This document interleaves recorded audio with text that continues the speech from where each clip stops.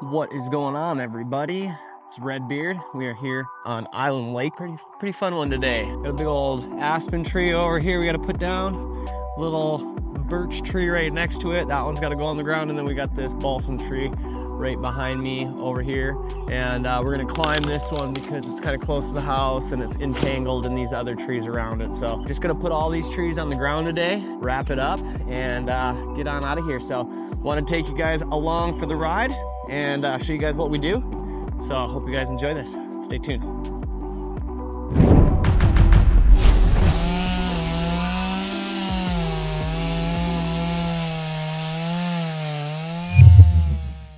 First things first, before we before we get too far ahead of ourselves here, we want to put a we're gonna put a nice solid edge on uh, on our chainsaw chain. That way, when we go out to start cutting, super efficient with the cuts that we're making. So first things first, grab a file. We hit our chain, put a little edge on it, and then we're good to go. So that's what we're gonna do right now. Keep on filing this scroll.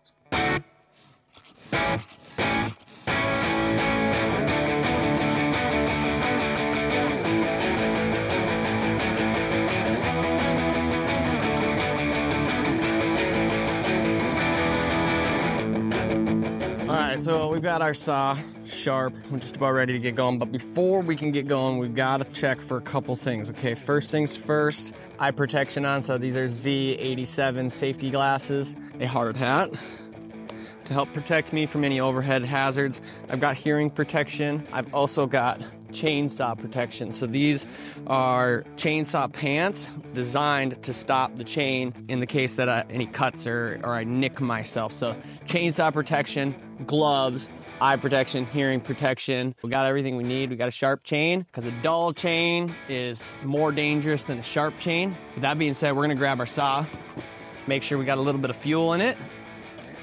Topped off. We're gonna check the bar oil. Topped off. We're gonna go get after it. So let's go find these trees. All right. Well, let's go look at these trees. All right, first thing I wanna do here, create a little bit of a working zone around this tree where I can work safely.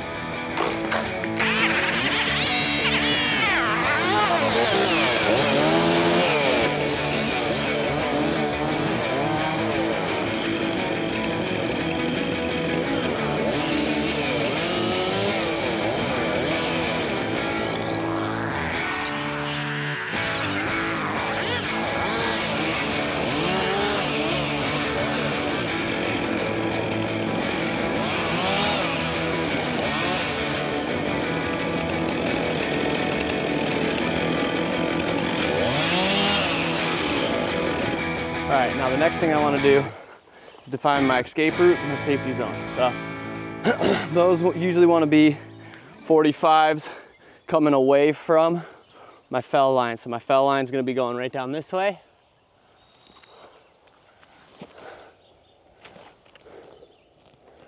Oh. Part of me feels like this needs a throw line in it. So probably what we're going to do right now. A throw line. That's what we do. We're worried about where things are gonna go. And that's what I'm gonna do right now, just so we can be sure.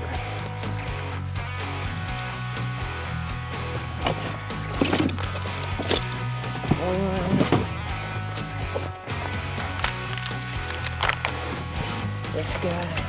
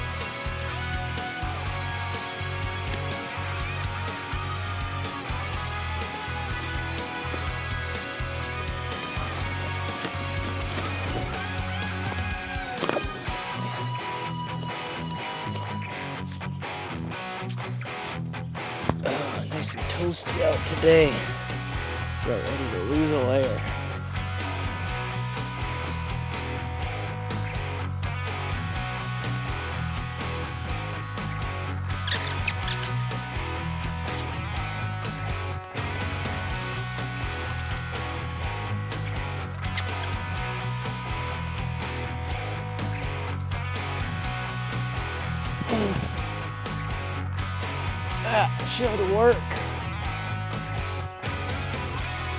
Yeah, we can get that up over where we need to. Now, what we're gonna do, set that line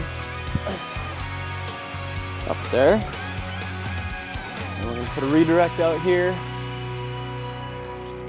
And we're gonna pull this tree down. That way we know it's going right where we want it to go.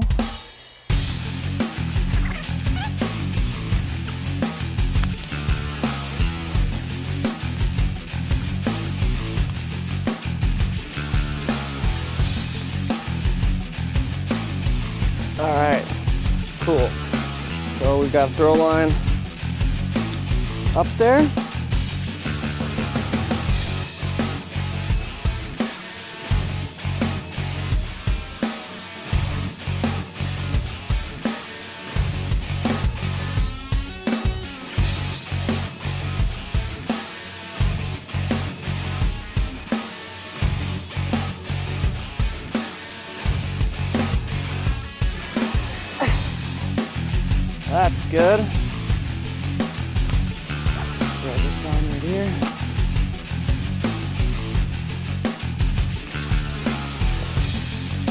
All right, now this pretty cool. So this is what we call progress capture.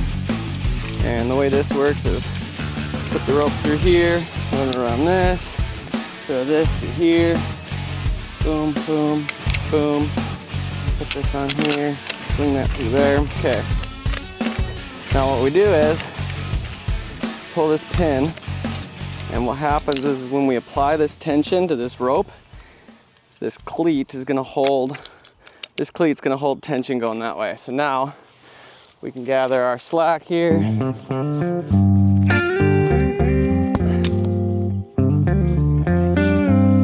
And I can run this out back over to my tree and I can pull this down from the base of the tree, which is kind of neat. So we'll show you how that works.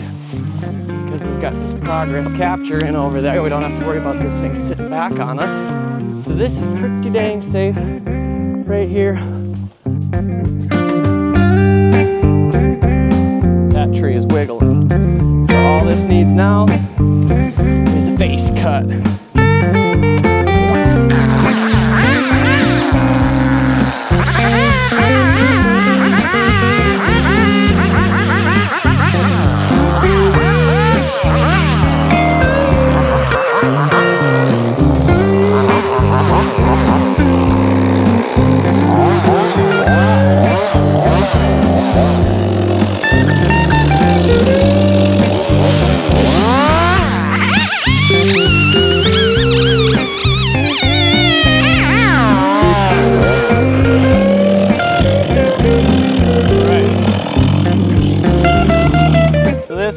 Humboldt cut, and uh, this is usually used in logging.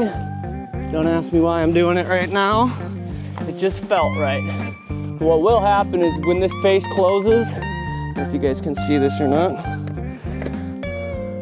When this face closes here, this will push off the stump, so this will push further out. Now, it's kind of unnecessary in this particular situation, but uh, what, what it does happen is it puts all this weight out over the tree here. So we're gonna go ahead and make a back cut. Put a little bit of tension in this rope. That's pretty good. I'll just tip this thing over. There's no big deal.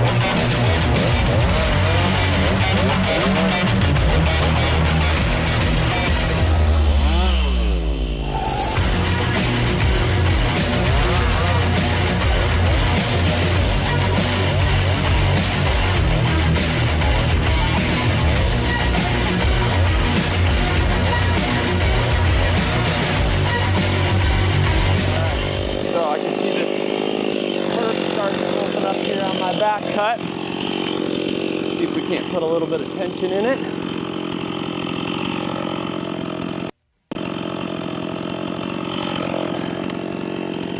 Yeah, I heard it cracking a little bit. Still want to go.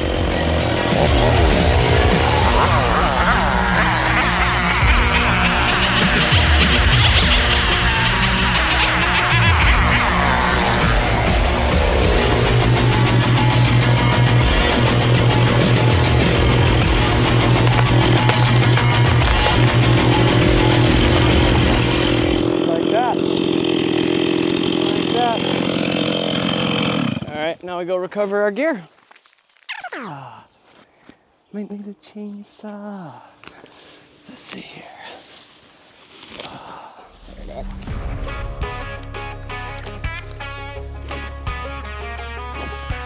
Nice.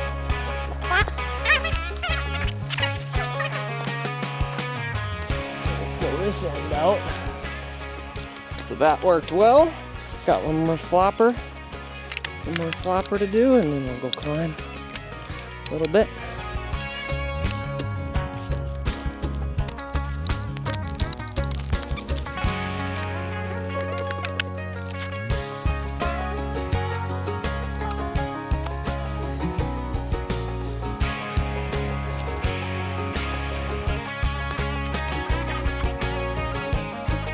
Now that that one's out of the way, this one should be fairly simple.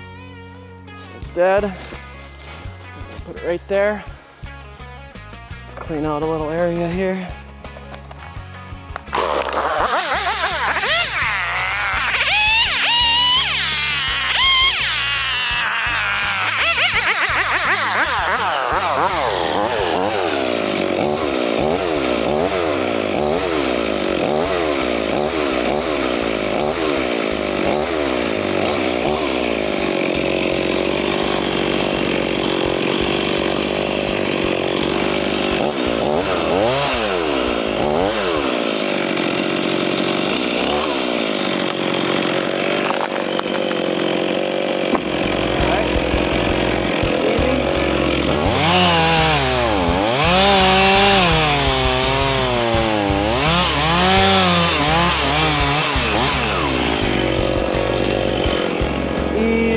Squeezy.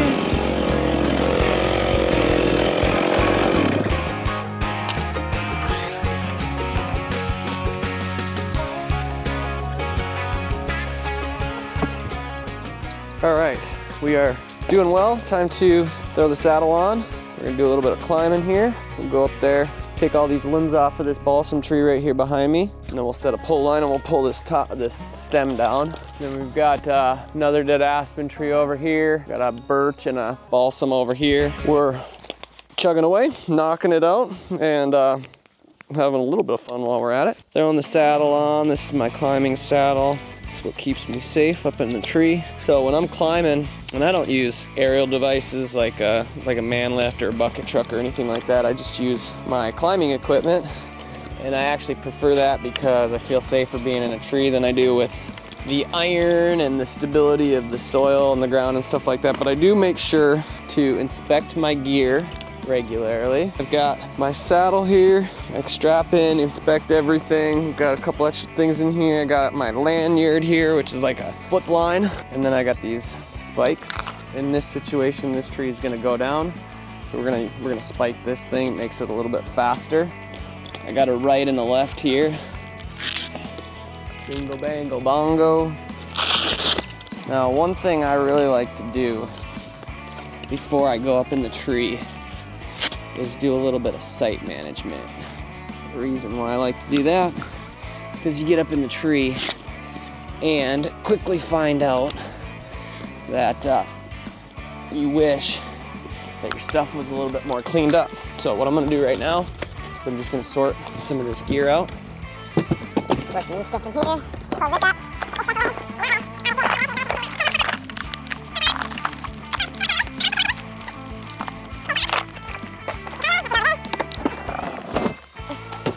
Bam.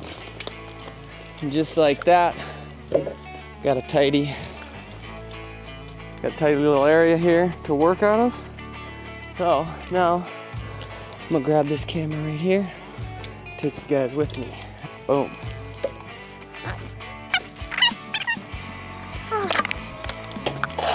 Check the battery, good to go.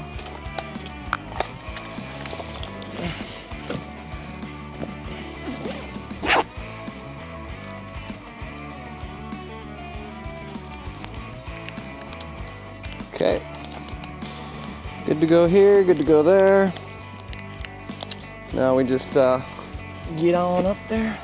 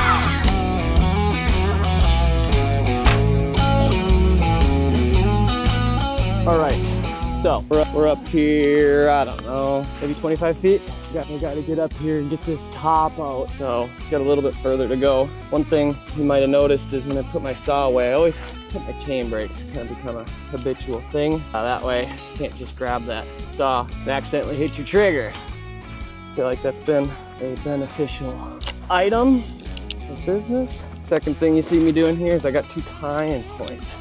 That means I'm just tying it up above me, working my flip line up, hooking that in as well. That way I'm just secure at all times. This thing is getting a little squiggly up here.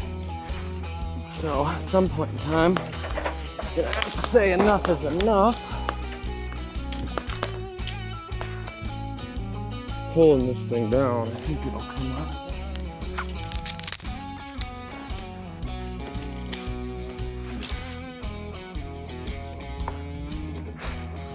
Usually like to cut pieces small enough that they don't maim destroy me.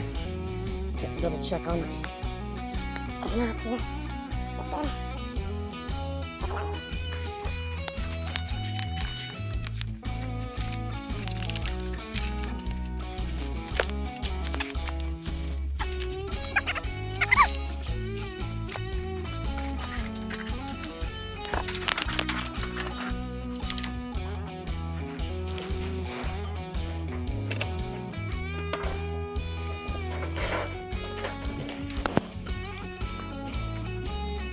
that theoretically flop right out here.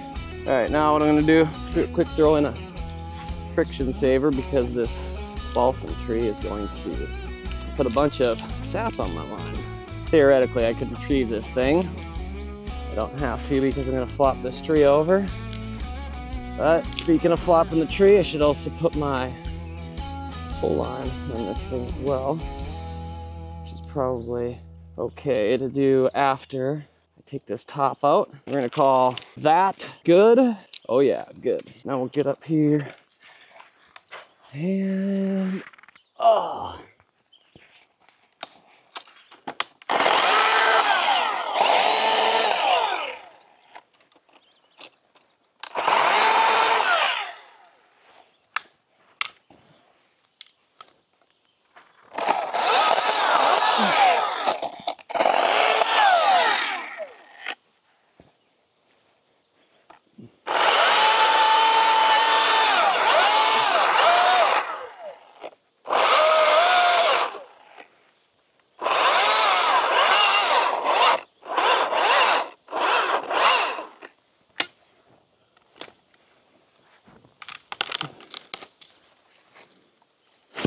All right, just like that. No problem. No problem, Mr. Sikorsky. No problem. Now, except this line. See now, here's, I'll show you what my problem was. Because the way that that tip was up here, tangled in with this aspen tree right next to it, I couldn't be sure that I could tip this thing where I wanted it to. So I had to climb up here pop that top out. Now that that's done, we're out of here. Time to get on down. The rest of this should come out fairly uneventful. Now we go down.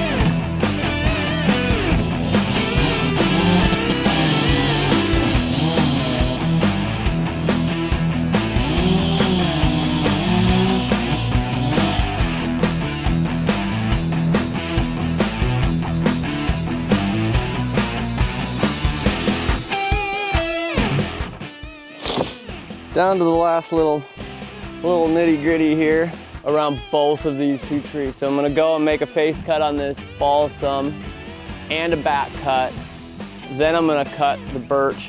Then I'm gonna pull them both down. So it should be uh, should be a little interesting here, but we're ready. We're ready to rock and roll. Everything is everything's ready to go. It's pre-tensioned. Let's do it.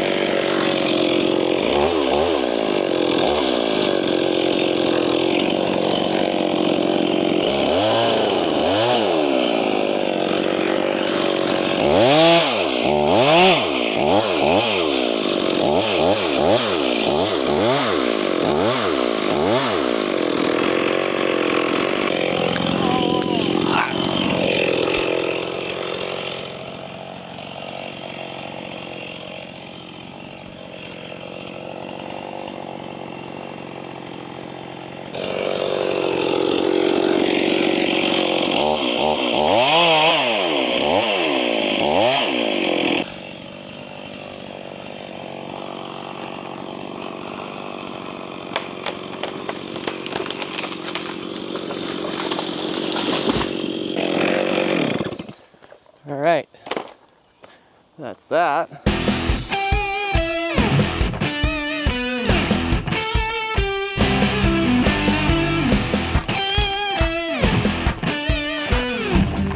All right, all right, all right. All right, all right.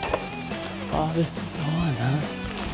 Yeah, we were right up in here. We lost a microphone for the camera earlier, and it was right there.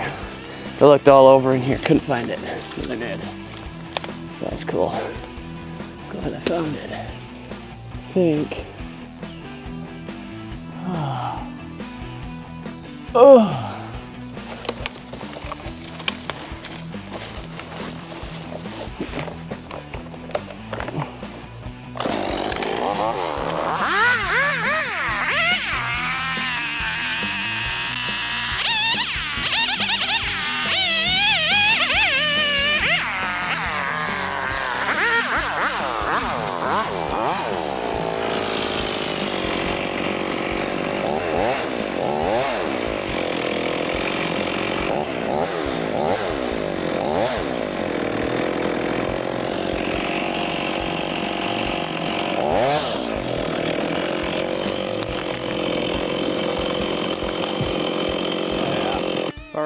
so that is it. We uh, got about one, two, three, four, five,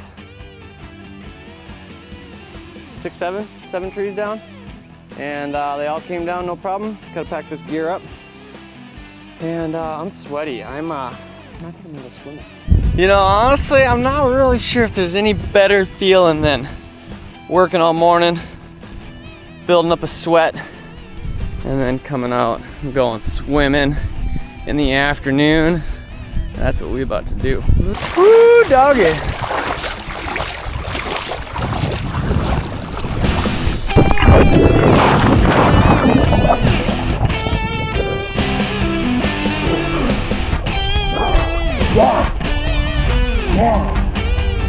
Love it out here. Island Lake, best. Now it's time to go get a pizza. All right, this is the part of the job that we call pizza at the Island Lake Inn. So, if you guys need hazard trees removed or you've got some wildfire mitigation that you want some help with, we can help you. All you got to do is go to the website redbeard.work, fill out the form. I'll give you a call soon. All right, guys, I'm Sean. Everybody calls me Redbeard. See you on the next one.